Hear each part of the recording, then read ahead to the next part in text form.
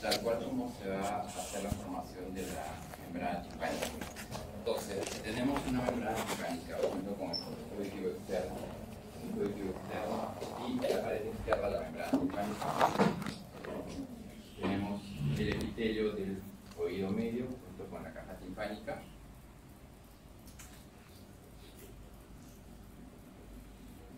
Y tenemos una pared medial de esta membrana timpánica. Entonces vemos que la parte externa de la membrana timpánica va a venir del ectodermo, la pared interna de, la, la, capa interna de la membrana timpánica que continúa con el epitelio de la caja timpánica, que es un epitelio respiratorio, va a formar el endodermo, y una capa media que va a formar la pared fibrosa de la membrana timpánica que va a venir del mesodermo. ¿Ya? Entonces, lo cual tenemos que la membrana timpánica vamos a dividirla. Una pars flácida y una pars tensa. La pars flácida es aquella que carece de la capa fibrosa, ¿ya? Y la pars tensa es aquella que contiene las fibras radiales y longitudinales de la membrana timpánica, lo cual le va a dar cierta resistencia a la membrana timpánica, ¿ya? Por eso que cuando vemos nosotros la pared superior de la membrana timpánica, sobre la pared apical, eh, carece de resistencia, es más, se, ve un poco translúcida y hace que la, la, cadena de huesecillos sea muy prominente. ¿ya? Entonces, esa es la parte de la parte plácida, la parte de la que carece de capa fibrosa y hace prominencia sobre la cadena de huesecillos. Incluso en esta pared apical, junto con la pared superior, que es el epitímpano, algunas veces es causa de patologías eh, forma y los colesteratomas en la, en la parte epitímpana, ¿ya? que es justamente en la flácida.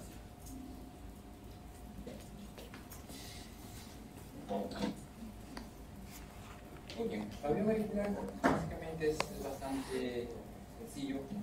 Hay unas curvaturas, estas curvaturas me van a permitir que me conduzcan el sonido hacia el conducto auditivo externo. Se hicieron muchos estudios en los cuales eh, se colocaban eh, masas en, las circunvoluciones del pabellón auricular, los cuales alteraban la localización del sonido. Entonces se vio que estas curvaturas, aparte de conducir el sonido hacia el poro acústico, hacia el acústico, lo que hacía es nos permitía, nos permitía una buena localización del sonido. ¿ya? Y el conducto auditivo también, entre otras funciones que tiene, es, me permite es hacer que el sonido que viene, que es una onda circular, elástica, al chocar con las paredes del conducto, comience a formar una direccionalidad, es decir, que comienza a ser una onda plana. Este conducto auditivo tiene una longitud que aproximadamente son unos 24 25 milímetros, de los cuales está cubierto de cartílago y una parte ósea. Eso me va a dar la movilidad del conducto auditivo externo. Por eso que para que nosotros podamos visualizar la membrana timpánica tenemos que traccionar en los adultos el pabellón auricular hacia atrás y hacia arriba para poner una posición un poco más horizontal y poder visualizar la membrana timpánica. Y en los niños es a la inversa, ¿ya? Hay que jalar hacia atrás, hacia abajo para poder visualizar la eso es debido a, que, a la curvatura del. Eso es necesario para que se produzca ese cambio de las ondas sonoras a que sean ondas planas y que caiga por una refracción directamente sobre la membrana timpánica. ¿Listo? Igual, la inervación del, del pabellón auricular y del canal eh, auditivo externo básicamente está dado por el facial el facial es el nervio que está mucho más pegado hacia la membrana timpánica, por eso que cuando algunas veces manipulamos el oído nos puede señalar el torso. Eh, perdón, el décimo par, el vago. La parte medial está conformada por el facial y el plexo cervical y el trigémino, tanto la pared superior como la pared eh, superior del lóbulo Entonces, la membrana timpánica básicamente está en contacto con la cadena de huesecillos ¿ya? específicamente contra el martillo. La posición de esta membrana timpánica en relación a la ventana oval es más o menos de 20-21 a 1. Esto me permite concentrar el sonido para que tenga una mayor eficiencia la transmisión del sonido hacia la ventana oval y hacia la boca. ¿ya? Porque muchas veces eh, parte de la fuerza del sonido se va a perder. Se pierde por el choque de las paredes, se pierde a nivel del cizallamiento que hay en la cadena de utensilios, se pierde energía. Y lo que se necesita es ganar esa energía que se Concentrando la energía, haciendo que la movilidad de la membrana timpánica ante los sonidos sea tonotópica, es decir, que determinadas zonas de la membrana timpánica tengan mayor movilidad en relación a las demás áreas. ¿ya? De igual forma, hay unos músculos que están en la caja timpánica, esos músculos me ayudan a tensar la, la membrana timpánica y de esa forma se hace mucho más eficiente la transmisión del sonido. Es importante que ustedes reconozcan ciertas paredes de la membrana timpánica. Tenemos que ver que hay el mango del martillo, hay una prominencia, la parte central del limbo del martillo, hay un rodete fibroso de Herlach, que es la parte fibrosa endurecida de la membrana timpánica, que es la cual se va a insertar al hueso temporal. Tenemos un triángulo luminoso, que simplemente es la, refracción de la luz ante la, posición de la membrana timpánica. Bien, entonces tenemos aquí el mango del martillo, tenemos el, el anillo fibroso de Herlach, tenemos el triángulo luminoso. Acá, si es que se puede ver, está la, la articulación embudo-estapedeal. ¿ya?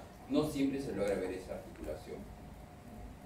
Y esa es la porción un poco más oscurecida, ven como una sombra en esta porción, es, eh, no es más que la sombra que genera la trompa de Eustaquio. No en todos los oídos se logra ver estas estructuras. Igual martillo, yunque y estribo con su porción eh, larga, su rama corta, eh, su apoyo anterior y el manubrio. Y la articulación con las cruras y el as de, del estapedio. Para poder entender un poco más el oído medio, eh, se grafica que el oído es como un cubo que tiene seis caras. Todas estas caras van a tener ciertas relaciones con culturas que se encuentran alrededor de este oído medio.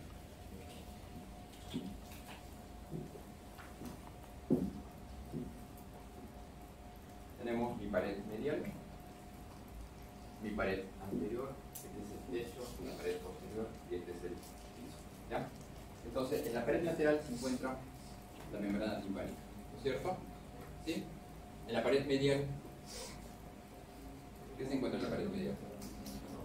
Lo que es el promontorio, donde están las primeras vueltas, ¿sí?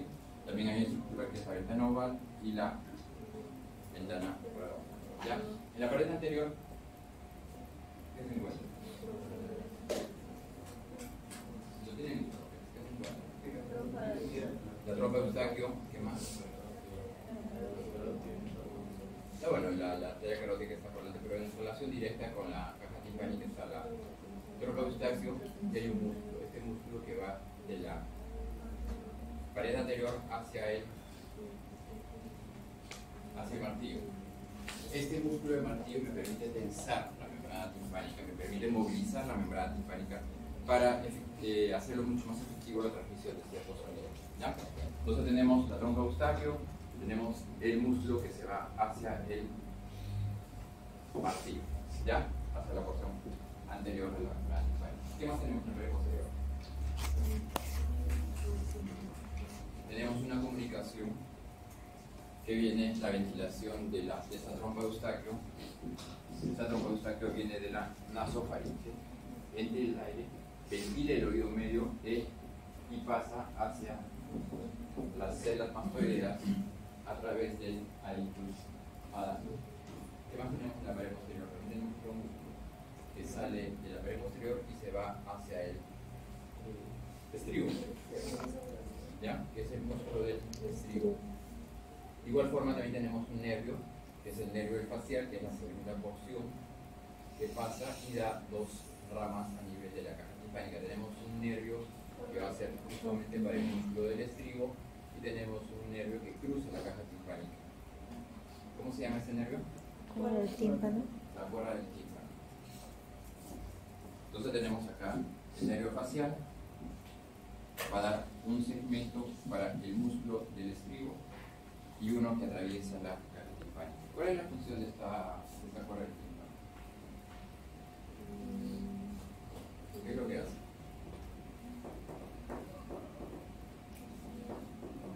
Uno es recoge las sensaciones gustativas de la lengua y otro es que se une con el nervio glosofárico e inerva las glándulas submaxilares sublinguales. Y lo que hace es, cuando eh, baja las presiones de oxígeno a nivel de la caja timpánica, capta esta, es como un receptor que tiene las presiones de oxígeno, capta que hay una baja ventilación y estimula a las glándulas eh, submaxilares sublinguales para la producción de saliva. ¿Qué pasa cuando tenemos saliva? Se hace saliva en la boca. Lo deglutimos. Y al, al hacer ese movimiento de deglución, estimulamos qué músculos. Hay músculos peristaltinos que se ubican a nivel del paladar. Y este músculo del paladar inserta a nivel de la robusta. Entonces, en forma indirecta, al estimular esta, este músculo peristaltino, lo que hace es tensar esta, esta trompa eustaquio y apertura e ingresa el aire. ¿Ya? Entonces, esos se van hacia las glándulas submaxilares estimula la producción de saliva, deglutimos la saliva y tensa estos músculos peristafilinos e ingresa el aire y me ventila el oído ¿Ya? Y el nervio, los músculos, tanto mediales como tensores del tímpano que hacen, ¿cuál es la función? Que protegen en forma la transmisión de sonidos muy fuertes hacia, el, hacia la copa. el nervio facial, ¿de dónde viene el nervio facial?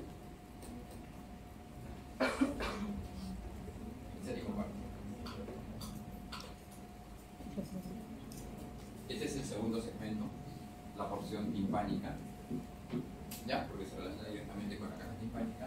Y la primera porción se ubica por detrás de la caja timpánica a nivel del vestíbulo. Aquí están los canales ventriculares y aquí está la copa. Entonces, esta parte se llama la región vestibular. Este es el primer segmento vestibular.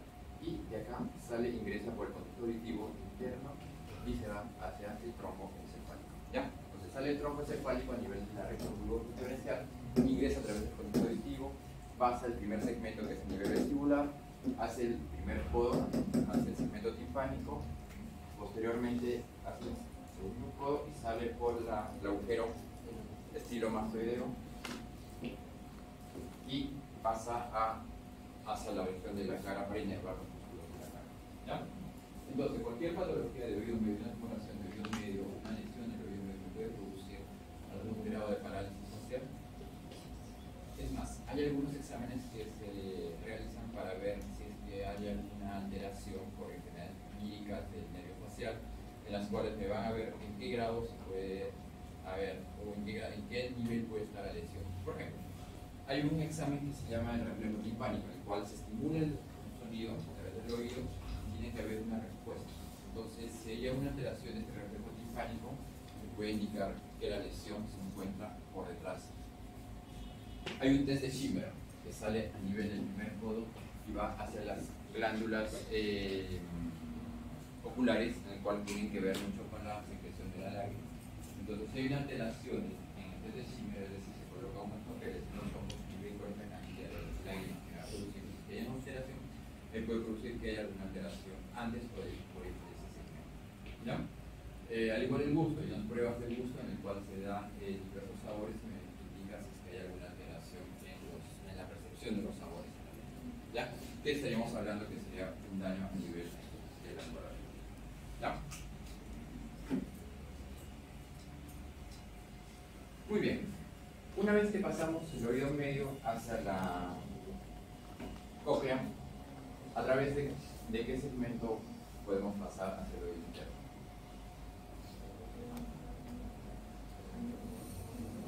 Hasta la ventana oval, ¿cierto? Tenemos acá que está mi ventana oval y mi ventana redonda. De aquí es oído medio y aquí es oído interno, ¿cierto? Tenemos la cóclea que la desenrollamos, ¿ya? Ventana oval y ventana redonda, ¿ya? ¿Y qué pasa si a eso hacemos un corte? Vamos a tener ¿verdad? Y esa es una rampa vestibular, rampa coclear, rampa timpánica. Es lo mismo, rampa vestibular, rampa timpánica y rampa coclear, ¿cierto? En la rampa vestibular hay perilinfa, en la rampa mm, timpánica también hay perilinfa y en la rampa coclear hay endolinfa. En los cuales hay eh, diferentes concentraciones de, de, electrolitos, tanto en la vestibular, coclear y timpánica. ¿Verdad? ¿Cómo se produce el sonido?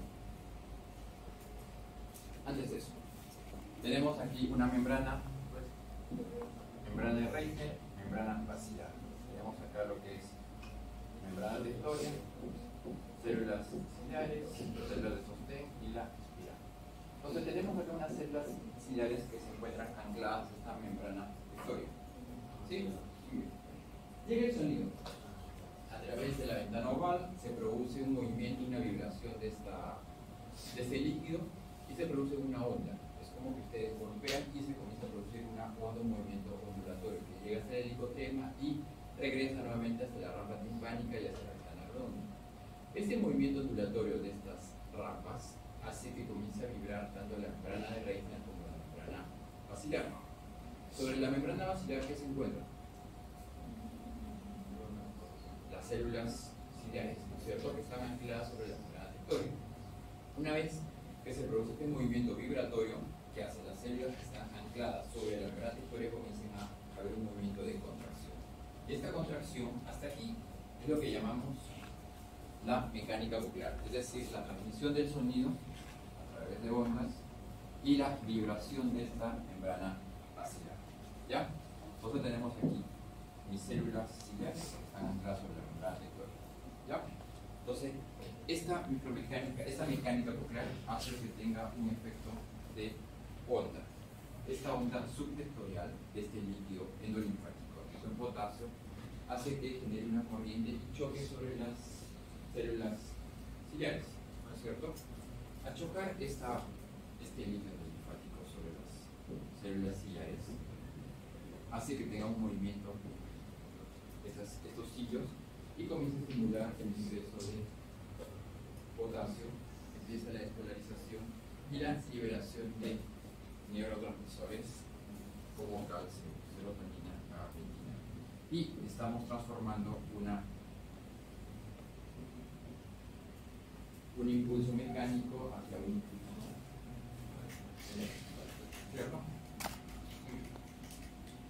Y de ahí ya sale de la primera neurona a nivel del ganglio de Corti, va hacia el, hasta llegar al núcleo talámico y de ahí a la corteza. ¿Ya? Entonces es la transformación de energía mecánica en una energía bioeléctrica. Ahora, hay ciertos exámenes que me dicen cómo está la audición. ¿Cuáles son? Bueno,